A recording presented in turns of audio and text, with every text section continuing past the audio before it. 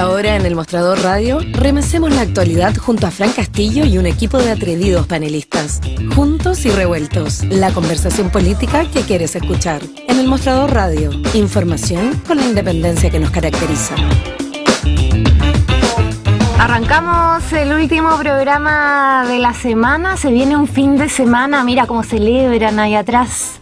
Se viene un, fin de semana para, para, quedarse en la casita, viendo películas. Yo estaba ver el clásico universitario, me dicen por ahí. Así que bueno, se viene un fin de semana largo yo estaba contenta hasta que hoy día en la mañana me puse a pensar que el próximo fin de semana es 7 de mayo, día de elecciones y a algunos nos toca trabajar. Así que tan semana corta no va a ser, pero bueno, aquí vamos a arrancar con, toda la energía igual. Estoy conectada ya con Iván Weisman y Alberto Mayol. ¿Cómo están? ¿Me escuchan y me ven bien? Te veo muy bien, te escucho bien. Hola, hola. Hola Alberto, ¿cómo estás? ¿Qué tal? ¿Cómo estás, Dan? Un gusto saludarte. Bueno, arranquemos, Iván Weisman. Oye, Fran, bueno, ah. primero acá eh, no está, eh, tenemos un gran reemplazo de la banca, Rodrigo Castillo, que es el panelista regular de estos sí. chasconeos de los viernes. Alto nivel. Yo le digo una mirada a Corea del Centro, eh, Alberto. Alberto está en España y, no lo invitamos, no lo invité al, al voleo, ¿eh? lo invité porque vamos a hablar hoy día un poco en el contexto de la, de la, de la discusión que, o polémica que estalló por el anuncio de la política nacional del litio, hablar de una cosa que viene, que en el mundo entero lo están hablando y, los que no saben y que no lo siguen tanto, Alberto lleva más de un año viviendo en España, Alberto, en Valencia. Dos años estoy, sí. Dos años. Y, y esto está pasando en todo el mundo. Hay una tensión entre el capital y el capitalismo que está tratando de redefinirse, pero no con mucha ganas y la democracia y el desarrollo lo estamos viviendo acá, y de eso Pero antes que nada yo quiero, eh, acá este, esta mirada Corea del Centro, preguntarle algo que me interesaba, ¿cómo está Valencia?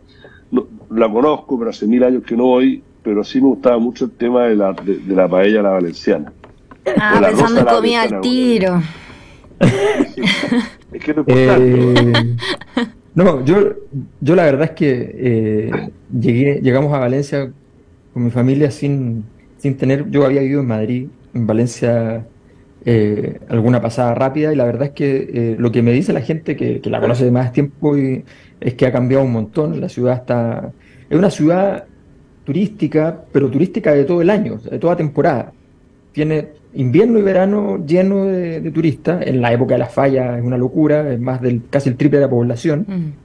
Eh, y la verdad es que una ciudad que está funcionando muy bien, con un poco con, todas las gracias que tiene positivas también el Estado español, con muy buenas políticas públicas urbanas, de, desarrollo de las ciudades.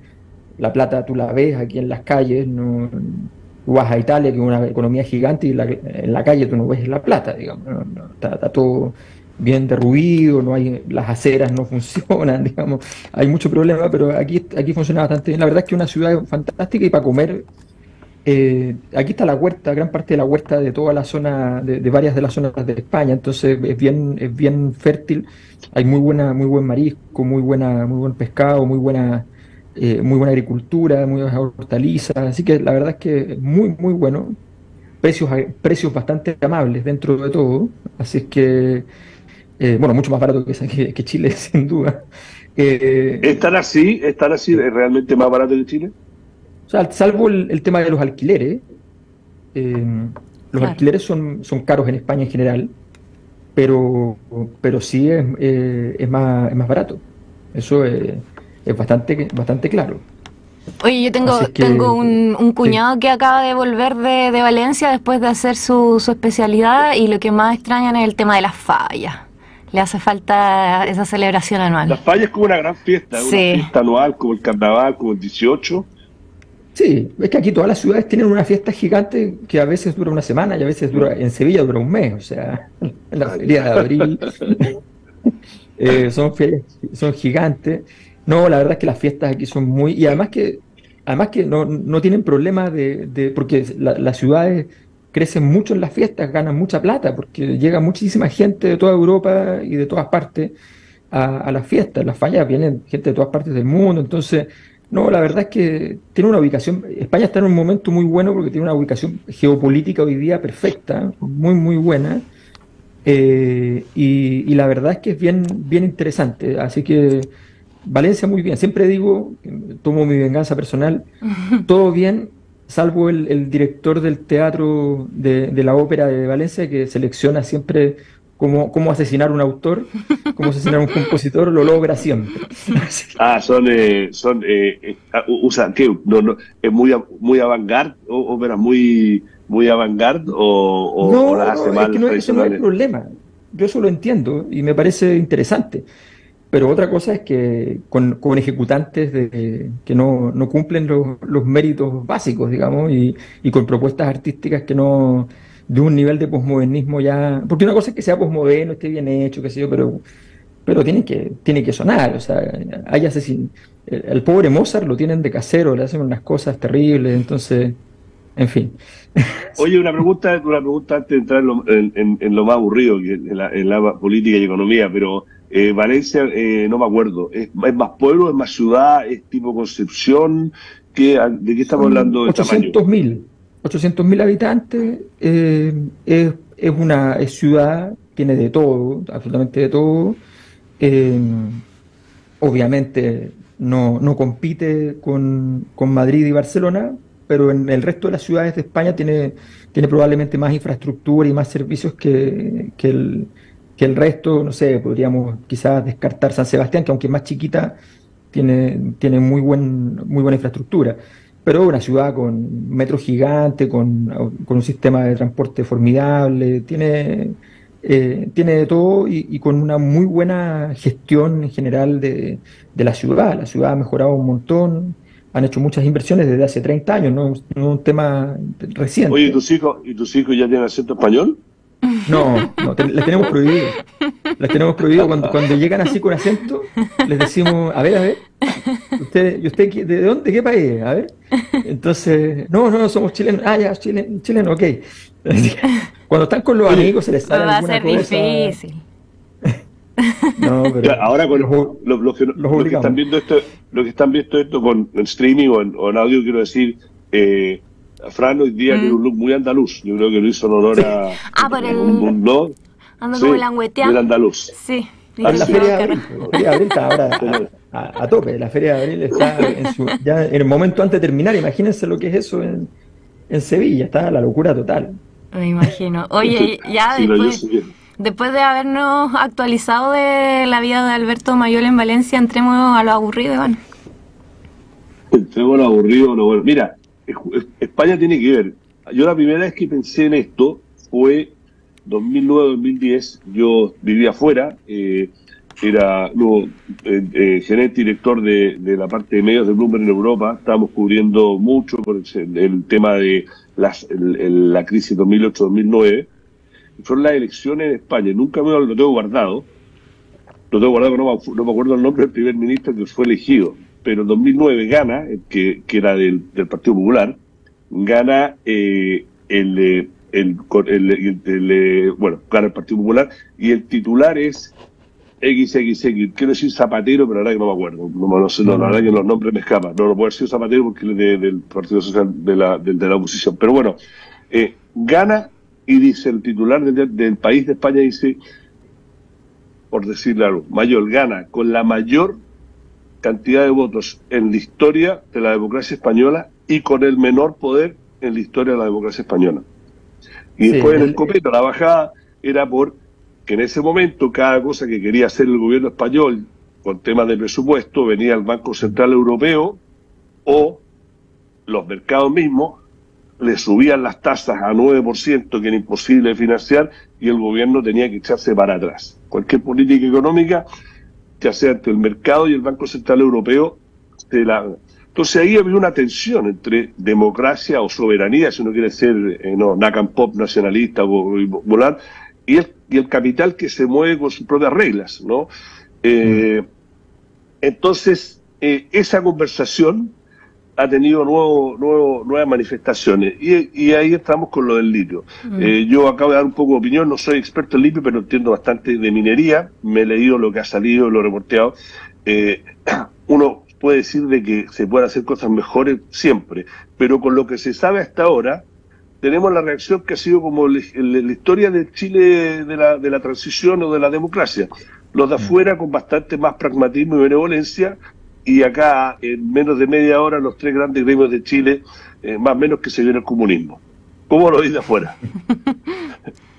A ver, primero eh, eh, lo que tú describes es el momento en que, en que entra Rajoy, Mariano Rajoy, y, entra en un momento muy difícil porque, porque y tiene que ver con lo que, con lo que voy a terminar.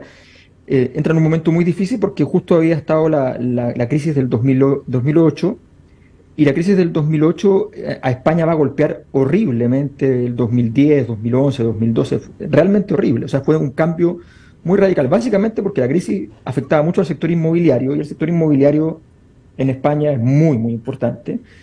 No, no solo es importante como industria, ojo, es importante porque la, la, sociedad española es una sociedad de, de pequeños o grandes, pero de propietarios de vivienda.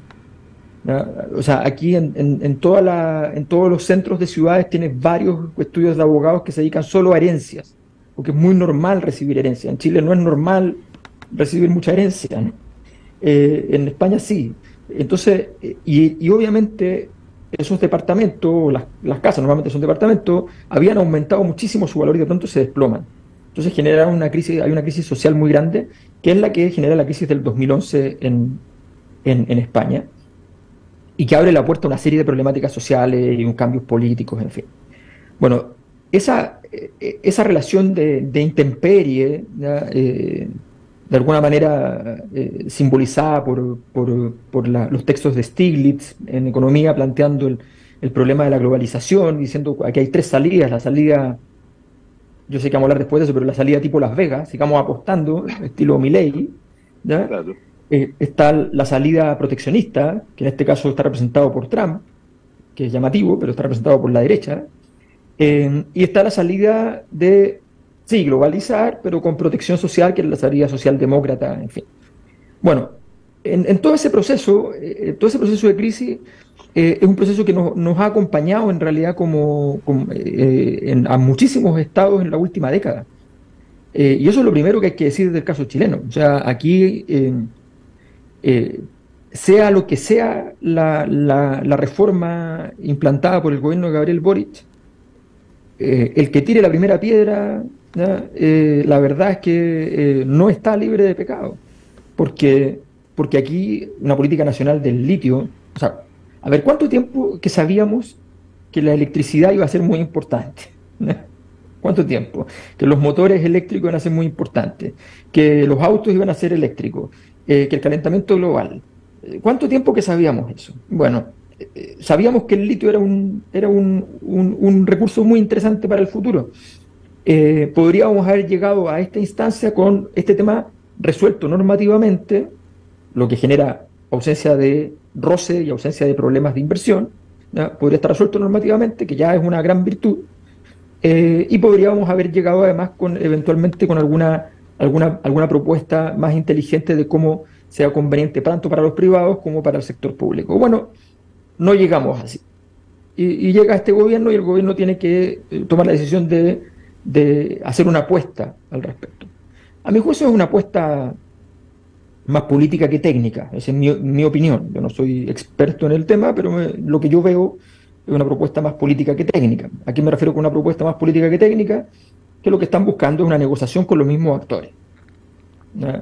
Una, negociación conveniente para el Estado, una, un acto de, presionar, entendiendo que la, contraparte también entiende que, la realidad la está presionando y por tanto hay una posibilidad, una oportunidad de, llegar a alguna clase de, acuerdo. Eh, y, por tanto veo que, eh, que toda la norma, como ya lo dibujó el ministro de Hacienda, eh, toda la norma en su, eh, eh, en, su carácter general puede modificarse.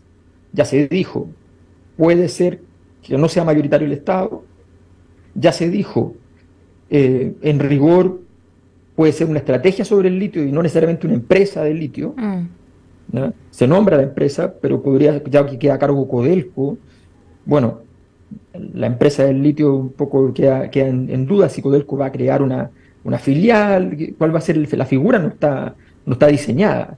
Y no pretendía tampoco estar, estar diseñada. Eh, entonces me parece que es una, apuesta eh, que tiene sí un, un, problema, no necesariamente es un defecto, es un problema que se puede resolver mejor o peor, y que es súper super simple.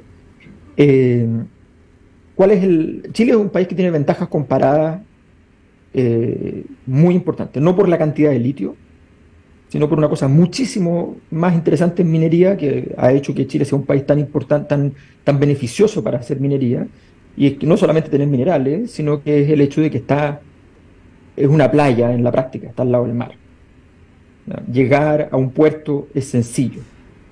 Eh, en muchas zonas mineras del mundo hay que pasar por tres países, en algunas zonas del mundo hay que pasar por uno o dos gobiernos que son provisionales en muchas zonas del mundo para hacer minería tienes que recorrer grandes, grandes, grandes distancias, tener una infraestructura bastante sofisticada.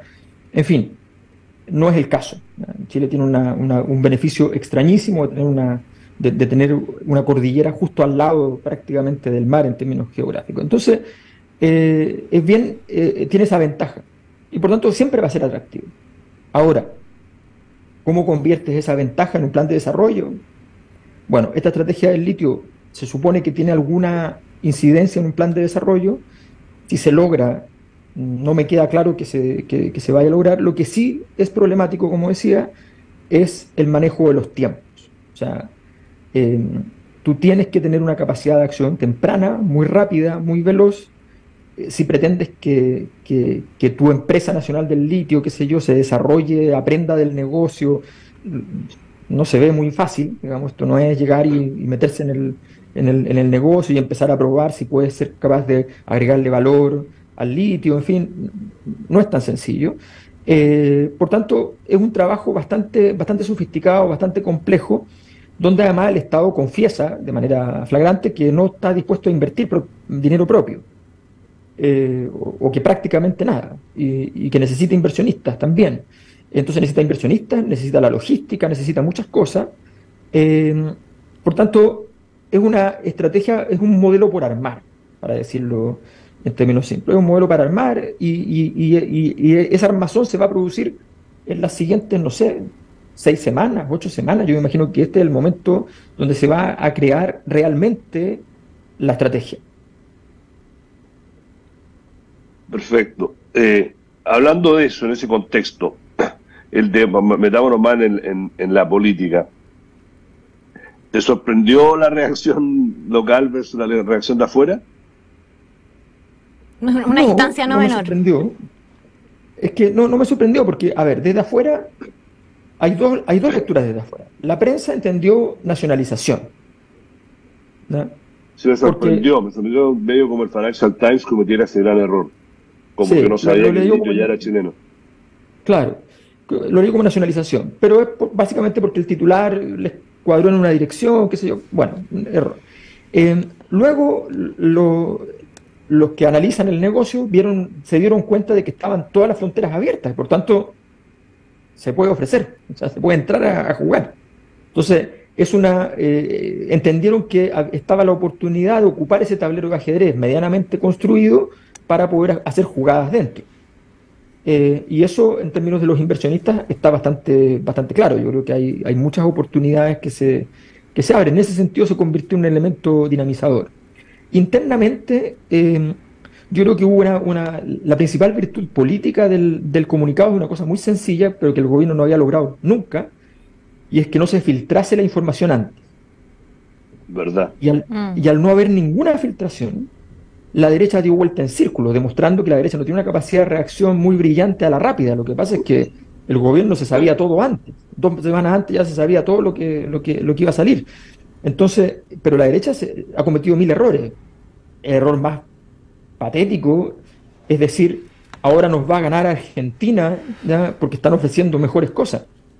O si alguien, si alguien después de estar diciendo la importancia del clima de negocios en Chile, la importancia de tener políticas serias. Si alguien después me dice que entonces Argentina nos va a pasar porque hizo un ofertón, entonces dígame qué está pensando, porque si se trata de ofertones, digamos, o sea, Argentina... Pero, ahí pero oye, pero, ahí tenía un, ejemplo del tema más, del tema como el contexto que le quería dar a la conversación. En Argentina, el tema de la minería se, se maneja a nivel, eh, de, la, a nivel federal. O sea, el gobierno eh, nacional tiene injerencia, pero muy poca. Entonces, Salta, Jujuy y se me olvida la tercera provincia del norte de Argentina que tiene el litio. Cada una tiene una política de litio diferente. Y literalmente, la política del litio de Jujuy y de Salta es más o menos el primero que llega con Lucas se la lleva, ¿no? Y la verdad que hay mucha inversión que de allá que se traduzca que estén exportando litio, falta, ¿no? Y entonces es curioso, porque, ¿a qué voy? Porque es curioso. Tenemos yo, por lo menos, mi lectura y por qué me interesa el tema, eh, yo veo una tensión, y que la veo como un aspecto muy negativo, y eso que soy una persona que, que me gusta las finanzas, creo que son el aceite de la economía, es una realidad, pero sí le tengo miedo a que se crean estos hitos, porque el capital, digo, el capital lo regula, pero es imposible de, regularlo realmente. Los países no se van a poner de acuerdo, es una, un, sería una, una sería muy voluntarista, pero efectivamente el capital ahora tiene tanto poder versus, usando los parámetros de, de la métrica izquierda-derecha versus el trabajo y versus las democracias, porque si al capital, entre comillas, no le gusta algo, se va lleva a otro lugar y te deja una política pública, a lo mejor tiene todo el respaldo popular y por ahí hasta técnicamente es buena. No, porque no, porque algunos dicen, no, pero lo que pasa es que el capital te disciplina, pero te disciplina hasta qué punto. Y ojo que yo digo acá, la gente que no, nos escucha, yo habiendo trabajado ahí, no existe, hay, pero no existe así 10 capitalistas con cuernos que se juntan en un club privado y se nos vamos a cagar a tal país. El capital es amoral, es súper pragmático, toma decisiones basadas en retornos.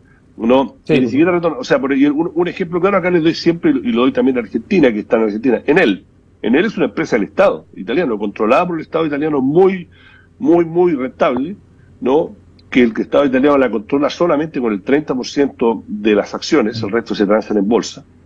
Pero el señor Starachi, que le queda poco, ahora a mitad de mayo sale, pero él tiene una responsabilidad fiduciaria, esto lo hablamos Fran con Rodrigo hace dos semanas creo. Mm. El señor Starachi, que maneja en él, tiene una responsabilidad fiduciaria de que la empresa gane plata para pagar los sueldos y jubilaciones de los empleados públicos de Italia. Eso es, es lo cuando va al Congreso cuatro veces al año, no sé cuántas veces, es eso, ¿no? Entonces él dice, a ver, yo voy a invertir en Chile, con todos tus problemas, puedo sacar la plata, la puedo llevar de vuelta a Italia, eh, tengo una rentabilidad más o menos asegurada entre el 6 y el 10%, etcétera o voy a invertir en Argentina que no puedo sacar la plata, las tarifas van a tener congeladas, pierdo plata. No, yo voy a invertir en Chile o en Colombia o en Brasil. Y eso no es porque el señor Starachi no le guste Argentina o esté en contra del mm. kirchnerismo o del macrismo. Es, un, es, un, es, una cosa, una razón muy pragmática. Es, es un extremo el ejemplo que acabo de dar. Pero esa tensión se vivió incluso, bueno, no sé cómo se vivió en España, pero se vivió este año también, o el año pasado, en Gran Bretaña, que una primera ministra se la pitió el gobierno en tres semanas, se la pitió el mercado hizo un, lo que se llama un mini presupuesto y en tres semanas los bonos británicos se fueron casi peor que los de Ucrania, en algún en, una, en un día estuvieron peor, el mercado lo encontró con una, una falta de responsabilidad económica y se pitearon un gobierno y no, tuvo, no hubo ni siquiera una marcha en contra, fue el mercado de bonos. Entonces, cuando dice, oye, uno puede decir, oye, está bien que lo hicieron, yo personalmente está, está bien porque era una locura lo que estaba haciendo, pero desde el punto de vista filosófico, a eso quiero entrar ¿Dónde está ese balance? Porque el capital realmente tiene mucho poder. Mm. A esto quiero, quiero sumar el, contexto, ¿no? El contexto que estamos eh, viviendo acá en Chile, político bastante difuso, por decirlo de alguna manera. Mm. A ver, a ver, mira, hay, varias cosas. Primero, aquí en España está pasando ahora, en este instante que está la discusión de eh, eh, Ferrovial tomó la decisión de irse a Holanda. Ferrovial es la empresa ah. de construcción más grande de España, una de las más grandes del mundo, eh, compite entre las empresas, empresas no financieras, no tecnológicas más grandes del mundo. Eh, bueno, y se fue, se va a Holanda y el gobierno... ¿Amenazó con eso o se va? Se va, se va. Ah, o sea, ya tomó la decisión. Pero el gobierno le está diciendo que no se puede ir, pero sí se puede ir. Entonces, hay, un, hay un conflicto que está interesante en términos, en términos de cuánto puede hacer realmente el Estado en términos jurídicos. El gobierno español hace ya unos 20 años casi, eh, cuando se iba, a propósito de, las empresas que llegan a Chile, cuando se iba a, vender eh, Endesa España, eh, el, gobierno intervino y no permitió la venta a los alemanes. Eh, entonces es, bien, es bien potente. Bueno, más allá de eso, de ese, conflicto que, ustedes describen entre la política y, los sectores financieros fundamentalmente, pero en general, es, uno de los grandes temas del, presente eh, y va a ser seguro del, futuro.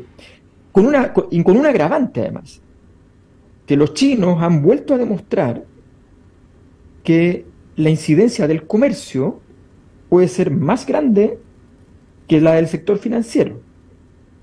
Nosotros veníamos con una dinámica en la cual en Occidente asumíamos que la, potencia del sector financiero, por su velocidad de inversión, por su potencia, por sus 4.000, 10.000, 20.000 millones de dólares que podían llegar de la nada, eh, dibujaba el mundo fácilmente los chinos han demostrado que ellos con una estrategia fundamentalmente comercial, de relación comercial, son capaces de tomar control, bastante control del, mundo.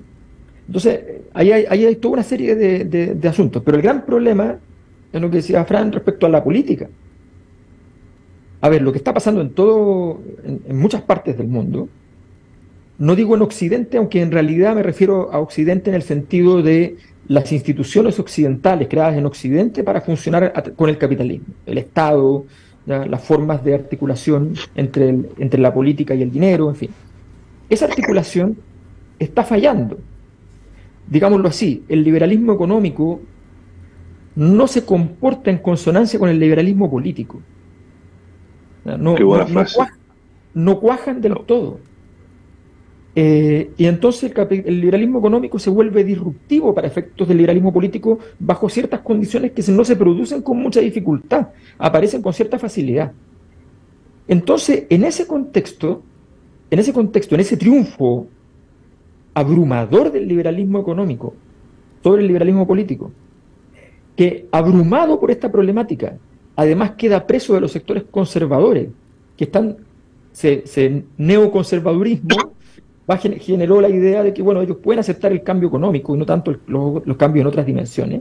Y por tanto el sector, el liberalismo político queda en una situación bien compleja y atrapado, por otro lado, con una, con una barrera que el liberalismo político había, había, había movido hacia un poquito la socialdemocracia, un liberalismo con algunos elementos sociales, y que la socialdemocracia y las izquierdas tomaron y dijeron, bueno, tráigalo más para acá. Entonces está tironeado, caloneado por muchas partes, pero las instituciones que nosotros tenemos fueron las instituciones forjadas por el liberalismo político.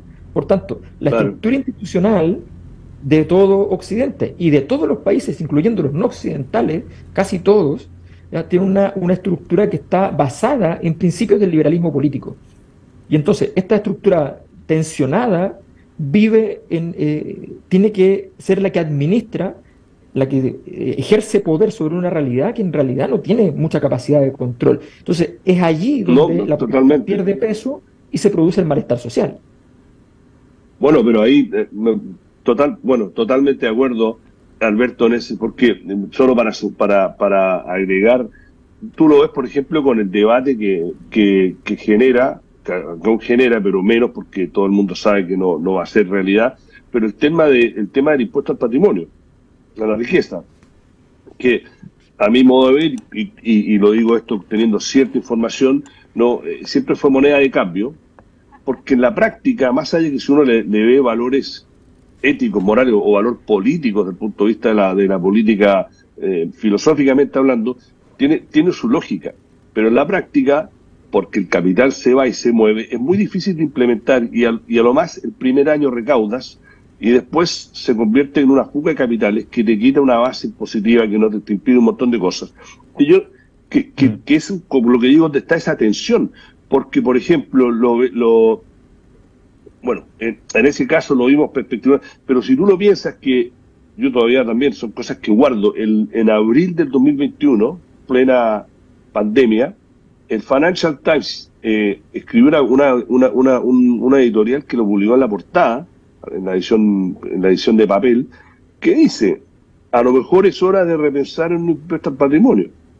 No, esto lo vienen diciendo algunos millonarios liberales de Estados Unidos que, han avanzado poco porque no, no, lo han pescado, pero como Mike Bloomberg, el mismo Warren Buffett, que dice, no mm. puede ser que como porcentaje de mi ingreso mi secretaria pague más impuestos que yo, porque, por, con, con, con, con herramientas totalmente legales, el capital paga muy, muy poco impuesto.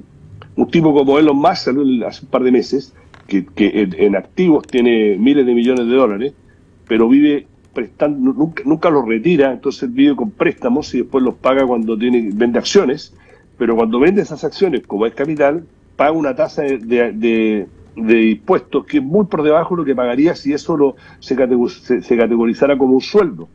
Mm. Entonces, cuando salen algunos empresarios diciendo, bueno, hay que, hay que subir los impuestos a esta categoría, a mí me llegan muchos mensajes de altos ejecutivos de los grandes equipos económicos que ganan muchas lucas, bajo cualquier contexto, y me dice, sí, pues, pero eso lo voy a pagar yo, pues, no, mi, no mi jefe, pues, porque mi jefe paga impuestos por capital, no por el sueldo. Bueno, ese, ese es un, gran, un gran... A ver, todo esto son las contradicciones que generan el, grueso de, la, de, la, de las crisis en términos de la relación entre política y economía, pero en realidad mediado por, una, por un por un principio fundamental que en la sociedad cuando no funciona siempre se vuelve disruptiva, que es un principio de justicia de sentido común. Eh, ¿Qué es lo que pasa con, las grandes reformas tributarias? Las grandes reformas tributarias normalmente los gobiernos van y dicen vamos a ir a buscar el dinero ahí donde están los ricos. Y luego empiezan a hablar del, del, 10% más rico. En el 10% más rico, ya, decir rico a, la gente que está en el, en el, en el, primer decil. Entonces, ¿quiénes, ¿quiénes pagan finalmente? Los que pagan son los profesionales. Ahí llega el reventón. Pero el reventón.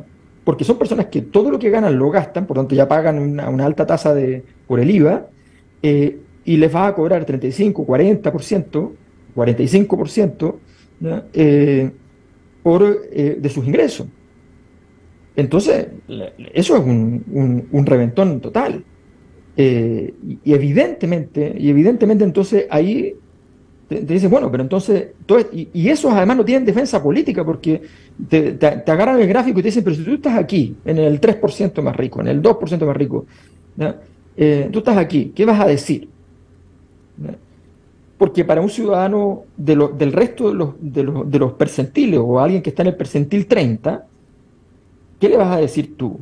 Que va, a creer que son personas que creen que la Teletón recauda mucha plata. No, no, no saben lo que, lo que significa realmente recaudar 35, 40 millones de dólares en términos de el movimiento de las finanzas públicas, el movimiento de las grandes corporaciones. No tiene, no, no, no, tiene, no distinguen, creen que los súper ricos son gente que tiene mansiones gigantes. Y eso es todo, pero los super ricos, la casa no, no es ni el 0,1, 0,0001 del, del patrimonio, en fin, o sea, es una, eh, es una locura. Entonces, el, sentido común en esas, en esas dimensiones es prácticamente imposible. O sea, nadie entendería, ni siquiera, ni muchos ejecutivos probablemente entenderían la forma en que Elon Musk maneja sus empresas es incomprensible porque, porque efectivamente es un mecanismo en el cual una, empresas que no tienen clientes todavía y que tienen 30 mil millones de dólares que hay que inyectarle todos los años. Eh, que para gente normal le dirían, usted tiene un déficit, pero como es Elon Musk, no, no tiene, hay que inyectarle. y que vive y que vive en un sillón, ¿eh? es un tipo muy particular, o sea, yo le tengo, tengo como, le admiro, he leído bastante de él, es, hay poco que le cabe el, sombrero de genio. Es un genio que, ha creado tres empresas eh, que han disruptado, no es la palabra, pero han completamente revolucionado la industria en la que entraron, ¿no? Eh, que vive, entiendo que no vive con sus señores y sus hijos, eh, aunque son, no están separados ni nada, vive como en un sillón, en un departamento de dos dormitorios, no duerme, le gusta fumarse sus pitos. Oye, oye, lo voy, a, lo voy a tener que interrumpir dos segundos porque obligadamente nos tenemos que ir a una mención y ya volvemos con más aquí en Juntos y Revueltos. Regresamos a Juntos y Revueltos, la conversación política que quieres escuchar. Bueno, seguimos con el programa de hoy. Para quienes se están sumando a las transmisiones en vivo, les cuento que estoy conectada con Iván Weisman como todos los viernes y también se sumó particularmente hoy día Alberto Mayol. Yo quiero sumar un ingrediente al análisis y preguntarle a Alberto su, opinión a propósito de estas tensiones que, que, estamos conversando entre capital, mercado y política, que es también todo este debate que se han dado en torno a los riesgos que hoy día presenta la democracia representativa.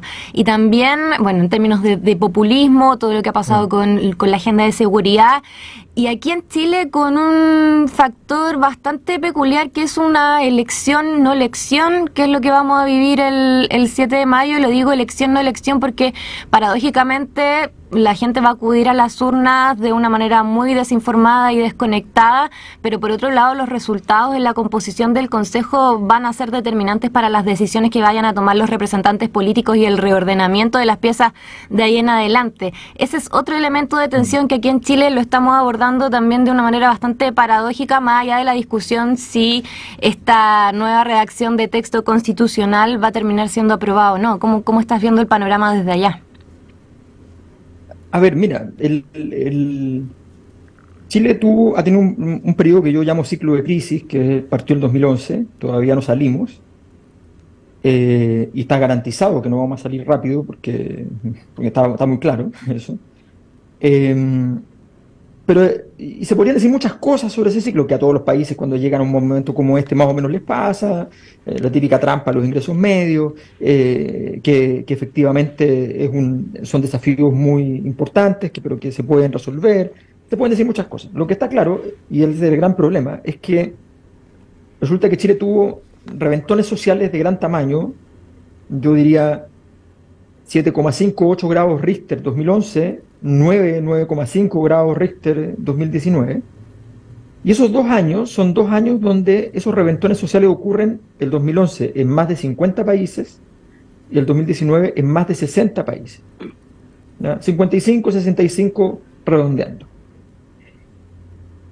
Esos ciclos se produjeron en ocho años de diferencia. El anterior ciclo al 2011 fue el 89, 22 años de diferencia. El anterior ciclo al 89 fue el 68, 21 años de diferencia. Más de 20 años, más de 20 años y de pronto 8 años. 2023, yo sigo el tema de conflictividad en, todo, en todos los países del mundo, vamos haciendo con mi equipo eh, revisión y seguimiento. Este año, si sigue como va, va a entrar en un ciclo de alta envergadura de protesta a nivel mundial. Y, si va a estar en un número de 60, 65, estaríamos hablando de un equivalente al 2019. Y si hablamos de un equivalente al 2019, estamos hablando de que luego de tener 8 años de diferencia pasamos a tener 5 años de diferencia solamente, y con una pandemia entre medio, con dos años que no podía haber ningún tipo de reventón social. O sea, es una situación bastante, bastante dramática desde el punto de vista de la, de la capacidad de relación, de relación de los sistemas políticos con la ciudadanía. Porque la gran falla en este tema es, ocurre en los sistemas políticos. Y lo que hay detrás es un fenómeno que se llama malestar social, para lo cual los sistemas, los sistemas políticos no entienden nada, ni les importa. Ni les importa. ¿Por qué? Primero creen que el malestar social es fundamentalmente un fenómeno afectivo, emotivo, y en segundo lugar, porque piensan que el malestar social es lo contrario del bienestar social. O sea, que si tú pones políticas de bienestar, se va a quitar el malestar social. Y ambas cosas no son reales. La segunda, no porque no sea algo cierto, sino porque es más complejo, pero no son reales. Y me explico. En primer lugar, el fenómeno de malestar social, toda la literatura especializada señala que es un fenómeno cognitivo, no es un fenómeno afectivo. Cognitivo significa que hay un proceso de aprendizaje donde la persona comprende, incorpora una información que procesa en forma de malestar. Por tanto, no es que tú le digas suba el ánimo. Segundo fenómeno, lo más importante, ¿es falta de bienestar social? No, fundamentalmente es la pérdida del sentido de la experiencia social. Eso es lo fundamental.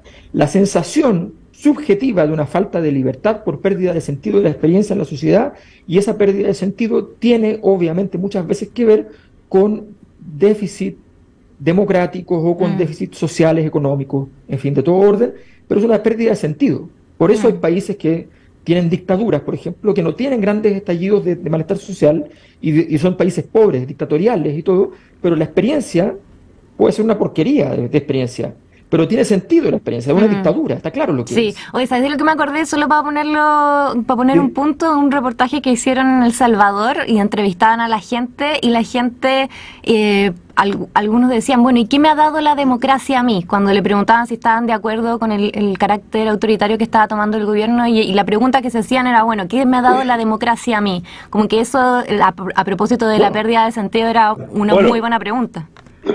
Pasa que a nivel macro, con la gente con la macro no come, porque fue el, problema, el, tema de, Chile, aunque en la práctica, si tú das ejemplos, si tú me, me solo a lo que fue Europa, o sea, tú estás viendo Europa, Europa vivía en guerra y, la gente critica a la Unión Europea y la paz después, pero, pero nunca ha habido, este es el periodo de paz hasta, hasta que rompió Rusia-Ucrania, hasta ese el periodo de paz más largo en la historia europea, no moderna, en la historia, o sea, tres 3.000 años.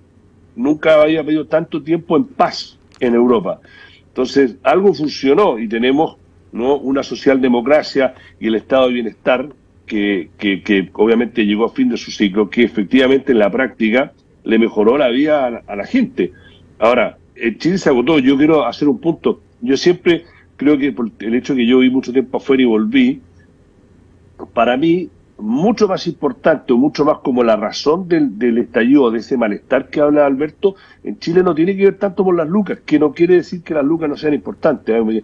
pero es, Chile es, socialmente muy desigual. Eh, eh, yo he vivido cinco países, y, incluso en Argentina lo conozco mucho.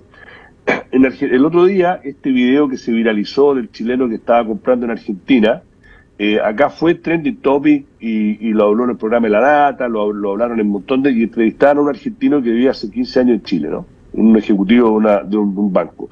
Y, lo ponían con... porque entrevistaban al, chileno este. Entonces, el chileno, la verdad que decía, el argentino dice, mira, acá ustedes siempre se quejan. Ustedes no saben lo que tienen. Entonces, eh, eh, yo mi teoría es que hasta cierto punto, como Argentina socialmente mucho más cohesionada que Chile, eso eh, actúa como un tapón para que no haya un estallido, porque cuando hay mini estallido en Argentina se solucionan con plata, mientras que Chile no, como dice Alberto, el problema necesariamente no es necesariamente la plata, pero acá hay una, una, hay una sociedad mucho más horizontal que hace que el hecho que estén, a ver si uno lo piensa, de que salimos, volvieron a la democracia en el año 83, la inflación promedio en Argentina ha sido 80% y excepto dos años la pobreza nunca bajó del 30%. O sea, son cosas que, por eso a mí cuando me dicen, no, porque ustedes en Chile aguantan mucho, no, no, ustedes aguantan mucho, ustedes les dan dos pesos con 50, sean para la casa, güey. Allá explotan el metro, güey, queman la ciudad. Eso sí, cada 30, 35 años. No quiero decir que, que esté bien o mal, bueno, bueno, me va a decir está mal. lo que voy es que en Chile el hecho que sea desigual socialmente, no que una persona de Vitacura, Las Condes, Provincia tiene más en común con una persona de la clase media de Valencia que con una persona que vive en Meripilla, porque se compran la ropa en Zara y escuchan la misma música en, en, Spotify y ven la misma serie en Netflix. Culturalmente somos más cercanos a eso que una persona de clase media baja o clase baja o trabajadora baja de, de, Meripilla, por, por, usar algo. ¿no? Entonces eso mm. es complicado. Eso, no, eh, absolutamente. A ver, eh, esto, esto es... En, antropología 1 se enseña eh, cómo funcionan las sociedades tribales, por ejemplo. En las sociedades tribales, el elemento disruptor, por definición, es la desigualdad. La desigualdad en todas sus dimensiones, en el trato, en cualquier cosa. De hecho, las personas que, tienen, que tienen menos resultados positivos en lo económico a fin de año tienen derecho, a fin de año, en, la fiesta de fin de año, a insultar a los que ganaron más. A denostarlo. Estaría bueno implementarlo. Claro, se, entiende, se entiende. Bueno, en Chile existía un poco en la oficina el minuto de confianza, ¿no? El minuto de confianza. Pero es justamente parte de, una, de, una de, la, de cierta cultura fue mermando eso. El, incluso la desigualdad estructurada, superestructurada del patrón del fondo en Chile, es una, es, un, es una estructura que contemplaba estos equilibrios de una manera muy asimétrica, pero los contemplaba por de pronto, hasta los 14 años los niños eran todos iguales, por de pronto. Eh, y, en la noche, en el carrete, también eran todos más o menos iguales, más o menos. Al menos se jugaba que eran iguales.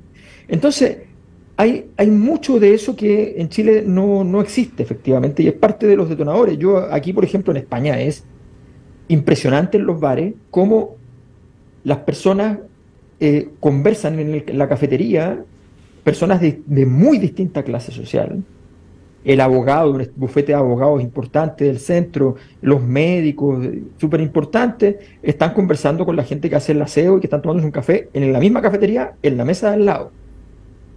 Eh, eso es con, con, con, las casacas amarillas de hacer el aseo. Eh, entonces, y eso es muy normal. Y la gente conversa y conoce la vida de toda la gente de su barrio, del mm. cartero, de, o sea, es súper normal. Y, no, no, y hay un nivel de solidaridad en ese sentido, no solamente por la, eh, por la diferencia en general. Yo veo chicos en el cine de 16, 17 años que van con su compañero de colegio ciego, con su amigo ciego, al cine. No, no sé cuántos, cuántos jóvenes en Chile van con su amigo ciego al cine. Eh, o que o gente o, gente adulta mayor que se está que, su mejor amigo está a punto de morir, se está súper grave, lo agarran, se lo llevan al café, lo sientan, no puede ni hablar, lo he visto, y, y, le, y, le sirven el café, le ponen el bocadillo en la, en la, boca, lo ayudan a comer mientras ellos conversan para que escuche y se distraiga. Entonces, efectivamente en Chile esas, esas dinámicas, por una serie de razones, ¿ah? muchas veces fundamentadas, fundamentadas, o sea, no, no digo que no, porque el, estilo de vida mucho más presuroso, mucho más exigente, en fin, por muchas cosas, eso no existe, con un gran estrés en los hogares en términos de deuda. Ustedes ven la encuesta de presupuestos familiares es infernal, y la encuesta de presupuestos familiares no incluye deuda, mm. no incluye deuda, no incluye el pago de créditos. si uno, si uno juntara el dato de los créditos con la ingresa de, presupuestos familiares, con la encuesta de presupuestos familiares, los datos serían desbordantes en problemáticas. Entonces, tú tienes allí todo un, eso altera la salud pública, altera toda clase de dinámica. Em, entonces, claro, estamos viviendo un, y, está pasando en todas partes del mundo, pero en Chile muy fuerte, además la pérdida de la expectativa respecto a esta, al, al gran movilizador de nuestra civilización, que es la educación, además. Entonces, tenemos un cóctel bien complejo que no estamos teniendo la estatura para resolverlo. Por tanto, termino diciendo con esto que todo este proceso, o sea, el malestar social es tan grande que se comió la solución que habían encontrado, que era la convención constitucional. Como se dieron las elecciones en su momento, mucha gente ya no quería que, se, saliera de ahí una constitución, pero, pero el malestar se comió una, una, una herramienta que había diseñado todo el sistema político, todo. Pero una amiga mía, a ver, que solo, súper rápido, porque nos va a quedar poco tiempo, pero quiero, me hiciste pensar, eh, una, una amiga mía me dijo, no, que lo que se comió el, el malestar social fue el crimen. A ver. El delito. A ver. lo sacó de la agenda. Es que sí, pero, pero ¿por qué, por, qué, ¿por qué el crimen aumenta? Porque la sociedad se vuelve, se torna completamente anómica. ¿Por qué el crimen? A ver, el crimen, como todas las desviaciones de norma, requiere un ecosistema no basta con que existan los criminales. Existe un ecosistema. Voy a ejemplificarlo de manera muy simple. Si yo me dedico a secuestrar gente y, a los secuestrados los guardo en, mi casa eh, donde yo vivo, en mi barrio, eh, ¿ustedes creen que en dos o tres años mis vecinos no se habrán enterado que yo en realidad secuestro? Entonces la pregunta es si el vecino va a llamar por teléfono diciendo, sí, mira, pasa algo raro en la, casa de un vecino mío, yo no, voy a dar mi nombre ni nada, pero ¿por qué no vienen a revisar? Eso es lo que pasaría en cualquier sociedad, cuando no hay anomia. Cuando hay anomia, tú ya no es tema mío, que, que ellos lo vean ellos, porque además yo me meto en un lío y qué sé yo. Eh, entonces, se requiere la concurrencia del resto. Esto suena horrible porque todos queremos sentir que los delincuentes son unos monstruos y nosotros no lo somos. Pero se requiere nuestra concurrencia para que ocurra eso. Eh, y esas dinámicas del, crimen tienen que ver con, un, con eh, no entender que el estallido social fue la rotura de todos los tejidos de una sociedad, es un estallido social. O sea, ¿por qué la gente que, piensa en lo, en lo, que significa, no sé, en la época del estallido, los estallidos oculares, y entiende que se perdió un ojo, ¿por qué no entiende que el estallido social significa que se está perdiendo una sociedad? Eso es lo que significa. Entonces, mm. ese daño, ese deterioro, obviamente genera caos. Y, eso, y el caos es el alimento del lumpen.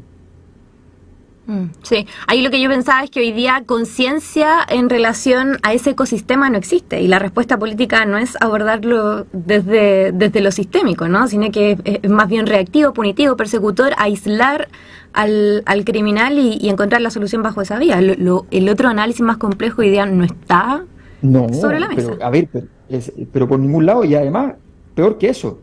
A ver, tenemos un problema complejo. Tenemos un problema complejo y ¿qué es lo que hacemos? Decimos que este problema se resume en los policías. Lo dijo la izquierda primero, echándole la culpa de todo a Carabineros, y lo dice la derecha ahora diciendo declarando los santos. A ver, reducir los problemas de la política a la policía es buscar soluciones tribales a problemas de sociedades complejas. Es así de simple. Eh, y problemas, soluciones tribales a problemas complejos también se llama fascismo. Eh, o sea, es realmente una respuesta muy equivocada. Estamos yendo por un camino, o sea, si alguien cree que estamos en un camino de salida, firmo, firmo que no. Eh, o sea, no, no, no, siento nada de mi carrera si no, si, no, si no es así. Lo que pasa es que, y esto da para 10 programas más, pero lo que pasa es que eh, uno empieza con lo chico, ¿no? el otro día escuchaba en un programa, en un podcast, eh, a una a, una, a un analista que me hizo súper sentido, porque lo vivo yo en Santiago. Digo, él decía que el tema de la seguridad, más allá del, del aspecto cultural y político y el contexto, está afectando en la práctica, en forma muy dramática, el día a día de la gente. Los restaurantes cierran antes porque la, gente se quiere, no, tiene miedo de irse muy tarde el, tema de subirte al, subirte al Transantiago muy temprano en la mañana para ir a trabajar, tener miedo de que estén los lumpes, que estén volviendo borrachos o drogados y que te asalten. Yo, los que me conocen en persona, Alberto me conoce, soy alto, soy vehemente, Imponente. Soy un poco bajo para mi peso, quizás, ¿no? Pero yo te digo, yo vivo en el, yo vivo en el parque forestal y me cuesta si estoy en la casa de mi mamá, que vive en Ñuñoa, Providencia, Ñuñoa, agarrar un Uber después de las 11. No quieren ir al parque forestal a dejarme. Y yo cuando agarro uno y me lleva, yo no, no, me gusta manejar, me bajo mirando a los lados y abrir la, la puerta súper rápido y subir a mi departamento. O de mi papá. Y eso, o si por ejemplo voy a la casa de una de mis hermanas que vive en las comunas del rechazo, como le digo yo, y me, han prestado un auto, estoy pensando el tema de la encerrona. O sea, yo he cambiado mi forma de comportarme a raíz de eso. Entonces, si yo, que soy parte de una élite y que económicamente también soy parte comparado con la gran mayoría de los chilenos, vivo eso, ¿qué es lo que, qué lo que debe sentir una persona en un barrio mucho más vulnerable? Entonces, tú, yo estoy concuerdo que, la, que las, pensar que todo pasa por la policía, pero tiene que haber no las soluciones no se no empiezan, sino empiezan también con la policía y un montón de otras cosas más. Por supuesto, pero un montón de otras cosas, cuando, porque además eh, las personas que, que se sienten la posibilidad de ser víctimas no han pensado que en otros barrios la mamá y el papá de los niños está preocupado no solo de que su hijo sea víctima, no solo de que consuma drogas, no solo de que sea, sino que eventualmente pueda ser seducido y sea convertido en delincuente, en criminal.